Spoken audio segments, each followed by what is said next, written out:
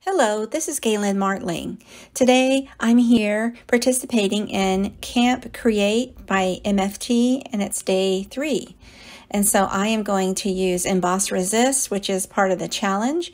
And I have stamp set by a stamp set by MFT called Wonderful Woods. And also I'm using Elegant Rectangle STAX die-namics for this card.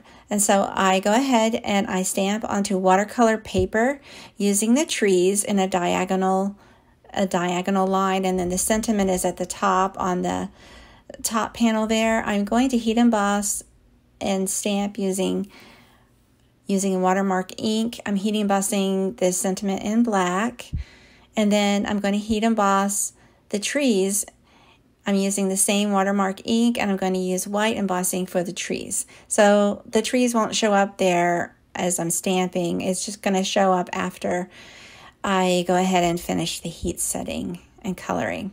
So there you can kind of see the white there. It's going to show up better once you add watercolor. So I'm using Sakura Koi watercolor and I'm using wet on wet for this technique as well. I'm going to add water to the top portion and the blue area, and then I'm going to add blue watercolor with a with a narrow brush and sort of a diagonal diagonal um, diagonal way there. I get a little darker down where the tree line starts. I wanted to use the small brush to sort of mimic clouds in the sky as well, so I let some of that white show through. Now on the bottom, it's going to be a grassy look. I add water first, then I just dab the green down in there. I start with light and then I add some more darker, a darker shade there. I have a couple of palettes of green there. And then um, go ahead and dab that in and then I move it around with the brush. Then I just pick up that panel to move it even more and let it blend together.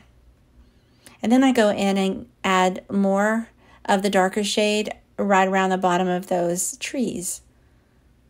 So I'm just trying to create a hillside or a slope area of trees for this. I really like the softness of this technique.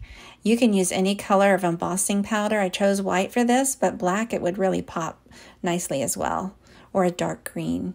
And so you go ahead and go ahead and heat set everything with a heat tool and then I made black, a black um, splatter area on the top left and the bottom right. Heat set everything and die cut it out using that frame die. And then I just place it with foam tape right onto the card base along with the sentiment to finish. I hope you give it a try. Thanks so much for watching.